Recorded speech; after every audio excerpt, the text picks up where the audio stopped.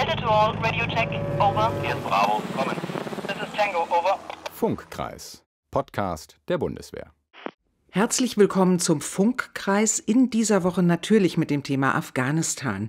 Hier ist Barbara Gantenbein von der Redaktion der Bundeswehr in Berlin und ich habe am Telefon jetzt zwei Männer, die unmittelbar an der Evakuierungsoperation beteiligt sind. Beide sind eben aus der afghanischen Hauptstadt Kabul zurückgekommen und in der usbekischen Hauptstadt Taschkent gelandet. Von dort aus werden die Evakuierten ja mit anderen Flugzeugen dann weitergeflogen nach Deutschland.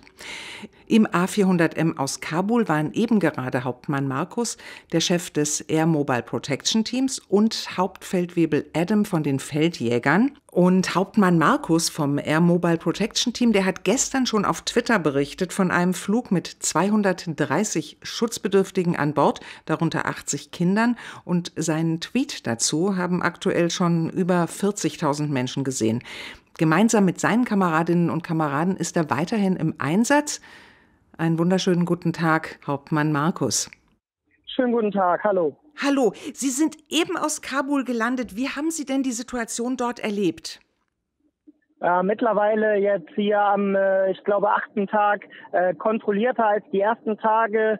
Ähm, noch die letzten Tage war sehr, sehr viel Bewegung. Ähm, ich glaube, die Lage vor Ort ist äh, kontrollierter äh, und man merkt, dass äh, vermutlich äh, die Situation und die Paxanzahl hier ähm, dahingehend äh, so äh, sich vorfindet, dass man hier davon sprechen kann, äh, dass äh, die Passagiere weitestgehend äh, Richtung Taschkent und weiter in ihre Bestimmungsländer evakuiert wurden. Das klingt sehr gut. Ähm, für all die Zuhörerinnen und Zuhörer, die gar nicht genau wissen, was ein Air Mobile Protection Team eigentlich macht, können Sie bitte mal beschreiben, was genau Ihre Aufgabe im Einsatz ist? Äh, wir als Team äh, mit dem Air Mobile Protection Team äh, stellen sicher den Schutz des LFZ und der Crew am Boden und in der Luft. Und durch unseren Einsatz ist für die Luftwaffe immer sichergestellt, dass bei einer möglichen Gefahrenlage ähm, Kräfte des Objektschutzregiments Friesland an die Maschine so gebunden ist, dass äh, 24 zu 7 durchgehend äh, in der Gefahrenlage sichergestellt ist, dass der Schutz äh, durch den Einsatz von Personal und Material äh, garantiert wird. Also Sie sind die Ersten, die rausgehen aus der Maschine, wenn die gelandet äh, ist und dann auch die Letzten, die wieder reingehen. Und ich weiß ja, dass Sie für solche Einsätze ausgebildet sind, aber trotzdem, wie viel Adrenalin ist denn bei Ihnen im Spiel jetzt in Kabul? Vielleicht auch gerade beim allerersten Mal. Sie sagen, Sie machen das ja schon jetzt ein paar Tage, aber wie ging es Ihnen bei, nach der ersten Landung?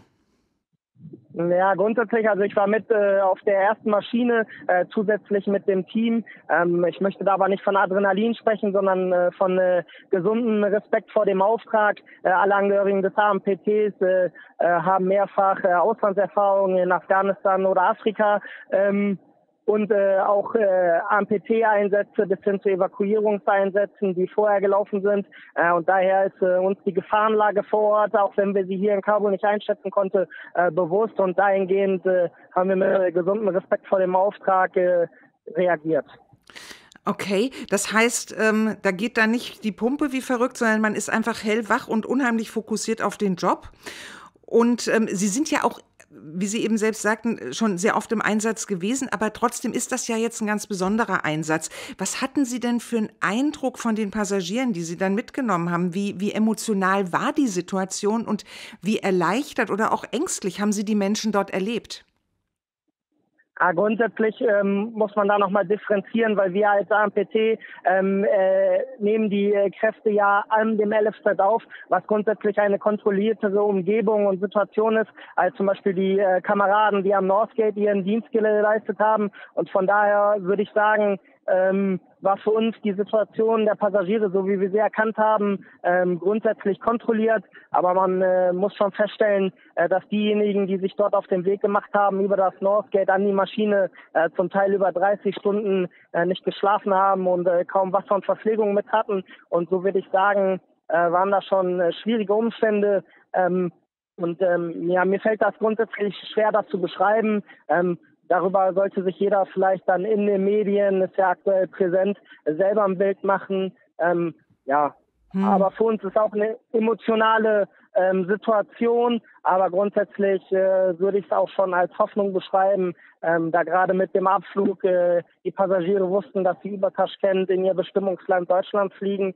Und man muss auch sagen, ähm, man hat auch viel äh, deutsche Staatsbürger getroffen, äh, die ähm, nochmal ihre Familie in Kabul besuchen wollten und von dem Vormarsch der Taliban selber äh, überrascht waren. Ähm, und äh, so konnte man auch mit dem einen oder anderen Passagier dort ins Gespräch kommen und selber erfahren, wie die Lage für die Passagiere sich vor Ort dargestellt hat. Ja, ja, das waren bestimmt bewegende Schicksale. Und, und äh, ich kann mir auch gut vorstellen, vielleicht auch sehr verwirrend gerade für die Kinder. Sie haben ja in Ihrem Tweet auch beschrieben, dass ähm, unter den 230 Schutzbedürftigen in dem Flug, über den Sie da sprachen, 80 Kinder waren. Ähm, wie, haben, wie haben die Kinder das denn alles verkraftet? Wie haben Sie das gesehen? Ja, grundsätzlich äh, glaube ich, äh, dass der Mensch an sich in solchen Situationen nur noch funktioniert und die Familien äh, bestrebt waren, zusammenzubleiben und äh, als Familie versucht haben, äh, zusammen auf diesen Flieger zu kommen.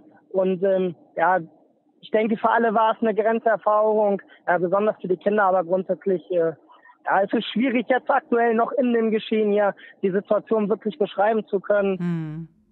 Kann ich gut verstehen. Wie geht's denn für Sie jetzt weiter? Ja, grundsätzlich wir als AMPC sind hier vor Ort und äh, stellen den äh, Schutz der LFZ äh, so lange sicher, äh, wie es der Auftrag hier erfordert und wir hier gemäß Maßgabe der Führung eingesetzt werden. LFZ steht für Luftfahrzeug, für alle Leute, die es nicht wissen. Und das heißt, Sie bewachen äh, die Flugzeuge natürlich auch, wenn die am Boden stehen. Das heißt, Sie müssen da jetzt auch direkt wieder hin, richtig? Genau, also wir als AMPT stellen hier weiterhin äh, den Schutz und die Sicherheit äh, in Kabul, solange dort Maschinen äh, am Boden stehen. Ähm, aber grundsätzlich möchte ich hier nochmal ansprechen, dass wir dies natürlich im Wirkverbund mit allen anderen Truppenteilen vor Ort machen. Also wir sind ja selber in der Sicherung der Fallschirmjäger, äh, die dort wahrscheinlich den Kernauftrag sicherstellen. Und äh, zusätzlich ist durch uns sichergestellt, dass auch bei einer möglichen bei einem möglichen Eindringversuch, den es so noch nicht gab, äh, niemand schafft, an das LFZ zu gelangen. Ja, ja. Ganz vielen Dank für Ihre Zeit. Danke für Ihren Dienst.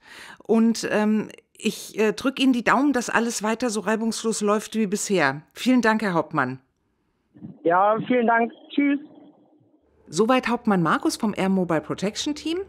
Hauptfeldwebel Adam der ist ebenfalls mit an Bord gewesen. Er ist Feldjäger. Er arbeitet ähm, sowohl in Kabul als auch unterwegs als Air Marshal im Flugzeug und dann eben auch in Taschkent. Ähm, er ist eben gemeinsam mit seinem Kameraden und 218 Schutzbedürftigen aus Kabul in Taschkent gelandet. Schönen guten Tag, Herr Hauptfeldwebel. Ja, hallo. Auch Ihnen danke, dass Sie sich die Zeit nehmen. Ähm, Sie sind Feldjäger, also Militärpolizist. Können Sie bitte beschreiben, was genau Ihre Aufgabe ist in Kabul und auch unterwegs und jetzt nach der Landung in Taschkent? Ja, kann ich. Die äh, Kameraden in Kabul machen die sogenannte Registrierung. Das heißt, die Leute, die am Northgate reinkommen, werden nämlich schon vorregistriert, ob die Ausreise ähm, fähig sind und dementsprechend auch das dürfen. Ähm, dann werden die dem sogenannten KUT übergeben, die uns dann das in unseren Aufgabenbereich überbringen, zwar in das sogenannte Air Marshalling. Das heißt, äh, sobald diese, ähm, wir bezeichnen sie als Echo, sobald die Hilfe suchen, dann dementsprechend an Bord kommen, sind wir dann dementsprechend für die Flugsicherheit zuständig. Das heißt, wir nehmen die in Kabul über oder auf, fliegen mit denen rüber nach Taschkent, Usbekistan und übergeben die da dann weiter an das KUT. Mhm. Und KUT steht für Krisenunterstützungsteam und da sind nicht nur Soldatinnen und Soldaten, sondern auch Diplomaten, äh, also auch Mitarbeiter anderer Ministerien ne, dabei. Ist korrekt, ja. Genau. Und äh, Sie sind also als Air Marshal quasi die ganze Zeit bei den Passagieren, den Echos ähm, und, und kriegen auch mit, wie es denen so geht. Was für Gefühle werden Ihnen denn da so entgegengebracht, wenn Sie die aufnehmen? Also beim Aufnehmen selber ähm, sehen wir das immer wieder, dass die Leute Angst haben, nicht ins Flugzeug zu kommen. Das versuchen sie natürlich äh, dahingehend zu beruhigen. Ähm, an Bord selber ist es natürlich ein bisschen wuselig, damit auch jeder einen Sitzplatz bekommt. Aber sobald das Flugzeug abhebt, merkt man auch direkt, dass es äh, 10 Tonnen leichter wird, sage ich immer, mhm. weil dann auch wirklich die Last von den Hilfesuchenden abfällt. Das ist schön zu hören. Fließen denn auch Tränen? Ja, also fließen sowohl Tränen ähm, als auch, ähm, die Leute lachen. Also dementsprechend, äh, ich denke mal, die Emotionen sind dort wirklich gemischt. In den Gesprächen mit den Leuten, die Deutsch sprechen, ähm, merkt man auch, dass es zweiseitig ist, dass sie sagen, auf eine Art müssen sie ihr Land verlassen, weil sie da nicht mehr sicher sind. Auf eine Art sind sie heilfroh, dass sie dann dementsprechend in eine sichere Umgebung kommen. Ja, klar, natürlich. Und Sie haben ja auch jede Menge Frauen und Kinder an Bord mittlerweile. Am Anfang, glaube ich, waren es mehr Männer, aber inzwischen haben, haben wir, glaube ich, beides.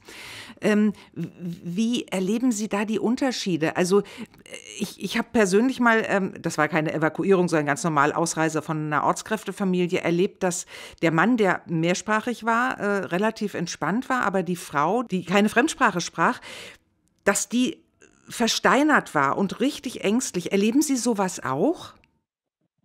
Ähm, also das kann ich so nicht bestätigen. Wir haben ähm, gerade was Kabel angeht, glaube ich, auch ein modernes Klientel, sag ich mal. Ähm, die Hauptrolle spielt natürlich der Mann und der hat dann wahrscheinlich auch äh, der Bundeswehr geholfen. Allerdings haben wir da auch junge Damen, die alleine reisen, ähm, die auch Deutsch oder Englisch sprechen können. Also die Kommunikation ist da wirklich durch die Bank weg gemischt. Verstehe. Worauf muss man denn als Feldjäger gefasst sein, als Air Marshal? Was müssen Sie beachten, gerade auch in der Luft? Also wie gesagt, wir sind für die Flugsicherheit ähm, zuständig und dementsprechend achten wir natürlich darauf auf auffälliges Verhalten. Mhm. Vorher sind die Gepäcke ähm, ja durchleuchtet worden, die Leute sind ähm, durchsucht worden. Dementsprechend verlassen wir uns da auf die Kameraden, die in Kabul ihren Dienst getan haben. Nichtsdestotrotz, ähm, Emotionen sind da. Äh, vielleicht hat der ein oder andere der Hilfesuchenden ähm, Familie zurückgelassen, den Bruder, die Schwester, sonst irgendwas. Und das kann natürlich dann auch das Fasten überlaufen bringen, in dem Moment, wo man abhebt. Das halte ich für einer der riskantesten Sachen. Ja. Ansonsten, ähm, wir gehen darauf ein, wir beruhigen die äh, Im Fall, dass äh, wirklich diese Person kollabiert oder sonst irgendwas, haben wir Gott sei Dank immer einen Sunny mit an Bord, der dann dementsprechend direkt Hilfe leisten kann. Mhm, mh. Was empfinden Sie als größte Herausforderung? Ist es der Zeitdruck, sind es Sprachprobleme oder äh, so Angst und Stress bei den, bei den Passagieren? Die, die größte Barriere ähm, ist das Einlassen, sage ich mal, das unter Kontrolle zu haben. Der Druck ist äh, zur Maschine recht groß, aber wir wollen es natürlich auch kontrolliert machen. Ja. Mit Auftrag natürlich auch die Leute zu zählen, dass auch nur die Leute reinkommen, die rein dürfen. Äh, ja, das sind so die Aufgaben, die uns entgegenstehen. Ja. Was passiert eigentlich nach der Landung in Taschkent? Wie genau läuft das dann ab? Nach der Landung in Taschkent ähm, arbeiten wieder mehrere Gruppen zusammen. Das Luftfahrzeug wird abgestellt, sobald die Rotoren dementsprechend aus sind, ähm, kommt auch der Ansprechpartner vom KUT zu uns. Aber auch die Usbeken sind dort vor Ort. Mittlerweile, jetzt in der Woche zwei, ist das ähm, ein sehr schönes Netzwerk geworden. Das Vertrauen hat sich aufgebaut zwischen den Usbeken und den Deutschen, würde ich behaupten. Und dementsprechend ist es ein Miteinander. Das war anfänglich vielleicht ein wenig schwieriger. Mhm. Das heißt, wir zählen die Leute nochmal beim Rausgehen. Das ist den Usbeken auch sehr wichtig. Die werden immer in 50er-Paketen ähm, in die Busse verladen und dann ins Transitterminal rübergebracht, wo dann die Registrierung und die weitere Durchsuchung stattfindet, sodass sie schnellstmöglich mit einem äh, Flieger nach Deutschland, Frankfurt fliegen können. Mhm. Sie arbeiten ja als Team mit allen anderen Einheiten zusammen. Ähm, das hat äh, eben schon der Hauptmann Markus so ein bisschen erklärt. Ähm, wie ist es denn? Sind Sie jetzt im Verlauf der Mission schon so zusammengewachsen, dass man sich blind aufeinander verlässt oder ist da noch viel Absprache notwendig? Also jetzt in Woche zwei ähm, brauchen wir fast keine Absprachen mehr. Man kennt die Teams, ähm, die äh, sowohl die Flugzeugbesatzungen als auch die AMPTler, ähm, die wechseln natürlich durch, aber man hat im Laufe der Zeit kennengelernt und ich weiß, wie der andere tickt. Ähm, da, wo Sachen ja fließend übergehen, da haben wir keine Absprachebedarf mehr. Nichtsdestotrotz, um die Professionalität aufrecht zu erhalten und auch wirklich jede Individualität ähm, zu berücksichtigen, wird äh, vor dem Flug immer ein Briefing gemacht, sodass äh, die einzelnen ähm, Sachen abgesprochen werden nochmal. Mhm. Letzte Frage, ein bisschen persönlich, müssen Sie auch nicht beantworten, aber mich interessiert es, ähm, wie, wie sind Sie denn eigentlich untergebracht? Also ähm, Sie sind jetzt in der zweiten Woche da, Sie und Ihre Kameradinnen und Kameraden. Wo können Sie schlafen, duschen, was essen? Wie funktioniert das für unsere deutschen Soldaten vor Ort? Ja, wir sind mit den ähm, Crews untergebracht, äh, nahe des Flughafens. Ähm, dort haben wir alles, was wir benötigen. Ähm, wie gesagt, den Kameraden, die leider in Kabul ihren Dienst da leisten müssen. Äh, nichtsdestotrotz haben wir die zeitliche Komponente, die bei uns einfach ähm, ja, eine große Rolle spielt. Ja, das kann ich mir sehr gut vorstellen. Auch Ihnen, Herr Hauptfeldwebel, danke für Ihren Dienst. Wir finden das ganz, ganz großartig, was Sie und die Kameradinnen und Kameraden vor Ort leisten. Und ähm, vielen Dank auch, dass Sie sich die Zeit genommen haben. Und weiterhin toi, toi, toi. Vielen Dank, mal gerne. Wir alle wissen, wie gefährlich die Lage in Afghanistan ist. Und wir wünschen uns, dass so viele Menschen wie möglich in Sicherheit gebracht werden können. Und natürlich wünschen wir uns, dass unsere Soldatinnen und Soldaten gesund nach Hause kommen. Ich melde mich ab aus dem Funkkreis. Machen Sie es gut. Tschüss.